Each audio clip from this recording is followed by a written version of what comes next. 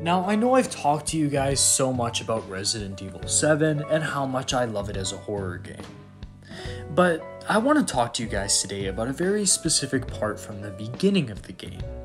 You see, it happens during your first encounter fighting the infected in the game there, the molded.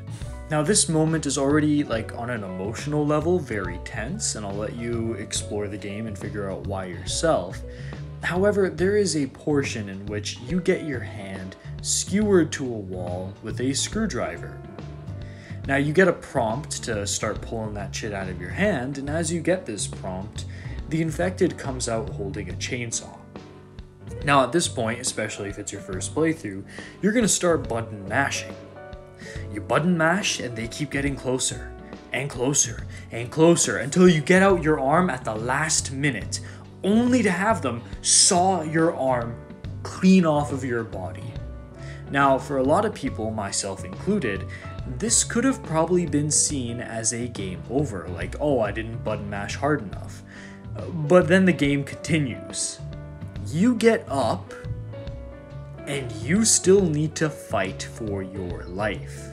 You pick up your severed hand, you find a handgun, and all of a sudden you have to go up against this chainsaw wielding maniac, moving slower than you were moving before, and you have to reload with a single hand. It is perhaps one of the toughest, most tense encounters I have ever experienced in a video game.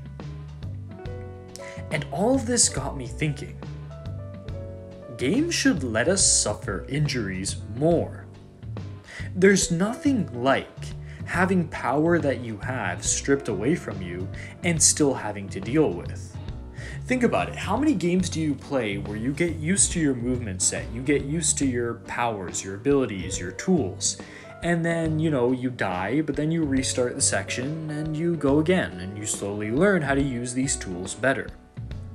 If you lost these tools on death or just throughout the game, all of a sudden the game would get significantly harder.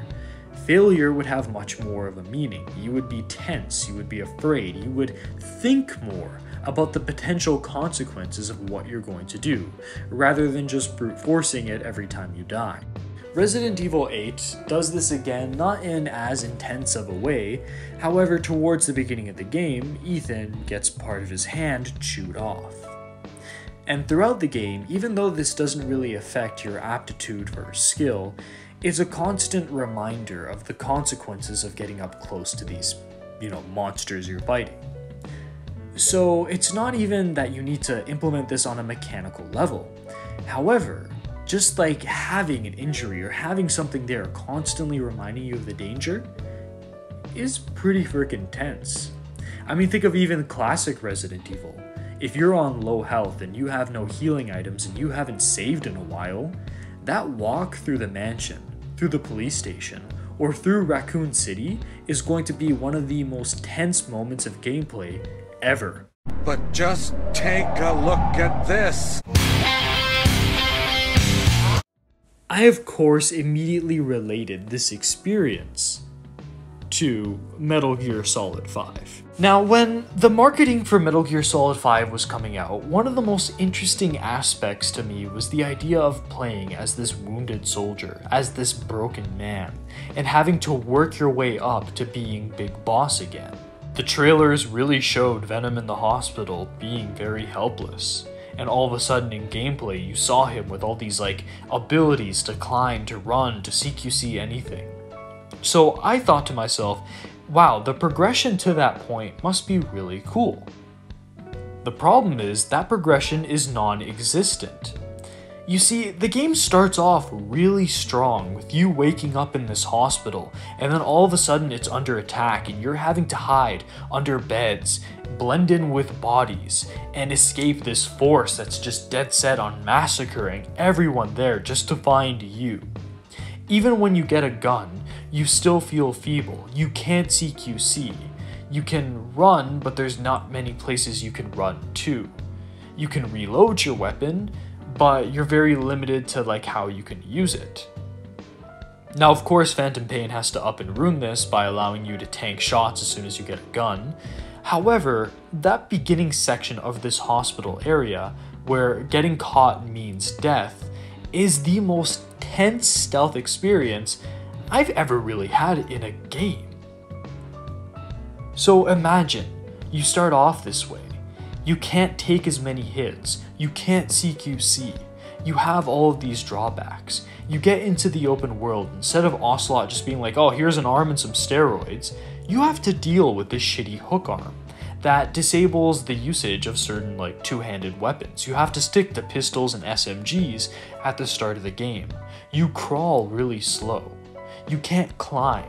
You can't, you know, do the really cool roll. Instead it damages you.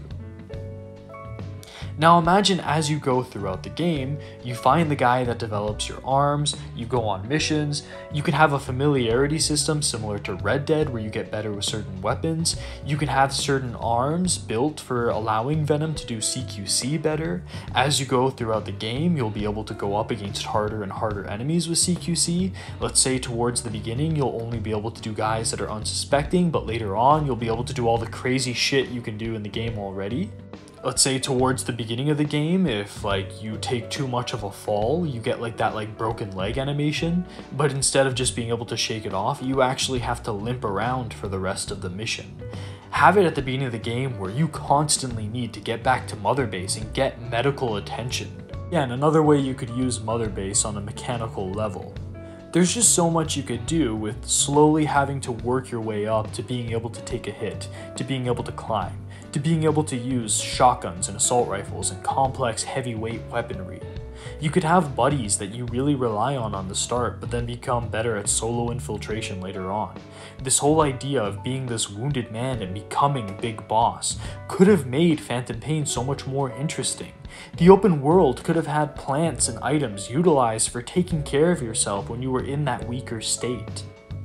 Games should let you be injured games should let you deal with physical consequences that you need to overcome, that you need to get used to. Have your reloads and have your abilities get better not by simply pressing a button on the iDroid, but through you struggling with the mechanics of trying to figure out how to reload these guns with different arms. And the more you reload guns, the more you CQC, the more you climb, the better you get at it.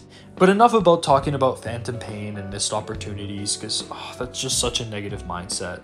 Another game that does the idea of injury affecting gameplay really well would be The Last of Us.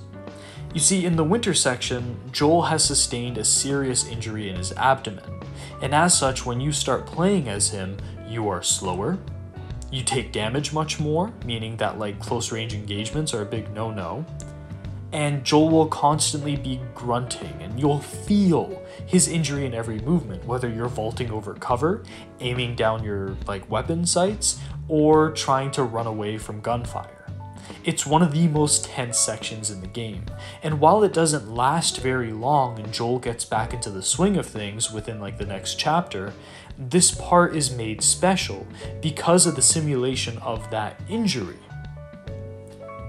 So yeah, this isn't so much a video essay as it's me talking about something that could be, or has the potential to be, a serious game influencing mechanic. Let us be weak. Let us have injuries. Let us have to overcome something. Because when we really have to overcome something, we really feel like we've earned the victories we have. And every time I play Phantom Pain and I'm just, you know, no scoping people with like the trank rifle and breezing my way through the entirety of it, all I can really think about is damn, if this felt earned, I don't think I'd have as much of a problem with it. Anyways, this has been Pliskin, over and out. This is Solid Snake. Hey, subscribe to Pliskin BOI. God damn it. You heard him.